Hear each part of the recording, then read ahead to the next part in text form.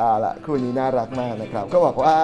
คนโสดนี่ถึงกับตายเรียบเลยนะฮะสำหรับความหวานของคู่รักดาราบูมกิตตน์ก้องกับกีฟ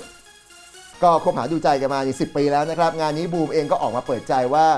ก็ปีนี้ยังไม่มีฤกษ์แต่งงานนะ พร้อมกับยืนยันนะครับว่ายังไม่มีเซอร์ไพรส์ใด ๆ ทั้งสิ้น เพราะว่าทั้งคู่ไม่ชอบการเซอร์ไพรส์ครับ จริงๆก็ดูมาเรื่อยๆแหละเพราะว่าก็คบกับน้องมานาน ปีหน้าปีหน้า 10 ปีแล้วครับ ก็พอสมควรแล้วใช่ครับ เรื่องความพร้อมหลาย ๆ อย่าง อย่างที่บูมเคยบอกตั้งแต่คบกับน้องแรก ๆ เลย เราอยากให้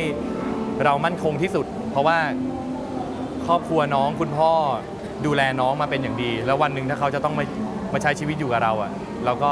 อยากดูแลเขาให้ดีให้ดีที่สุดให้มั่นคงที่สุดอะไรเงี้ยครับถามว่าพร้อมไหมจริงๆอะคนที่พร้อมน่าจะเป็นน้องที่พร้อมมาตลอดอยู่แล้ว ใช่แต่ว่าเราเรา เราเริ่มจากศูนย์ไงแล้วเราก็พิสูจน์ตัวเรามาตลอดเวลา พยายามทำเหมือนทำเราให้เพียบพร้อมมากกว่าใช่ใช่บูมรู้สึกว่าตัวเองเราดีขึ้นเราในในแบบของเราแล้วก็เรารู้สึกว่าเราก็พร้อมที่จะดูแลผู้หญิงคนหนึ่งได้ดีแล้วอะไรเงี้ยเอาจริงๆถ้าบอกตรงนี้เลยว่าไม่ไม่น่ามีครับไม่มีไม่มีแน่นอน เพราะว่า แม้กระทั่งวันเกิดเราเนี่ยเราก็จะไม่ทำเซอร์ไพรส์ให้กัน เพราะว่าเราตกลงกันตั้งแต่แรกอยู่แล้วว่า เราสองคนไม่ชอบการเซอร์ไพรส์คือถ้าจะจัดงานหรือว่ามันจะมีอะไรที่มันพิเศษเนี่ยเราคุยกันก่อน เพื่อให้ทุกอย่างมันออกมา perfect ที่สุดอะไรอย่างเงี้ย ถูกใจใช่ ด้วยเพราะอย่างที่บอกว่าถ้าสมมุติว่าอยู่ดีเราไปเซอร์ไพรส์คุกเข่าขอแต่งงาน แต่วันนั้นเขาดันไม่ได้แต่งหน้า ไม่ได้แต่งตัวน้องก็ไม่ยอมให้ถ่ายรูป มันก็พังอยู่ดี เพราะฉะนั้นอยู่ดีเราไปบอกเฮ้ยหนูวันนี้แต่งหน้าทำผม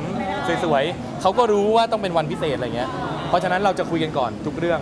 งานวันเกิดเฮ้ยเดี๋ยวปีนี้พี่จะซื้ออันนี้ให้หนูชอบไหมเดี๋ยวพี่จะพาหนูไปที่นี่นะ หนูชอบไหมอะไรเงี้ยก็ เราจะคุยกันทุกเรื่องครับอันนี้ที่บูมคิดเอาไว้นะครับก็คือ ในวันที่บูมขอบูมน่าจะไปขอกับคุณพ่อคุณแม่น้องมากกว่า ก็จะบอกน้องว่าเออถึงเวลาแล้วนะถึงวันนี้แล้วนะที่พี่พร้อมจะไปขอหนูอะไรเงี้ยขอหนูแต่งงานพี่ขออนุญาตไปขอต่อหน้าคุณพ่อคุณแม่ เพราะว่าเราก็ให้เกียรติคุณพ่อคุณแม่ บูมคิดว่าถ้าสมมุติว่าบูมชอบแหวนวงหนึ่งแล้วบูมอยากจะซื้อไปขอผู้หญิงคนหนึ่งอะแล้วถ้ามันเป็นสีหรือรูปแบบที่เขาไม่ชอบ เขาอาจจะเขาต้องใส่ติดตัวไปตลอดชีวิตอะแล้วมันเป็นของเขาอะไรเงี้ยคู่บูมก็เลยเป็นแบบนี้ สมมุติว่าหนูอยากได้แบบไหน หนูสั่งหนูจัดการแล้วพี่ซื้อให้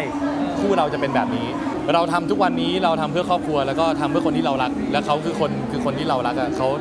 เขาอยากได้อะไรเราก็เต็มที่ให้เขาหมด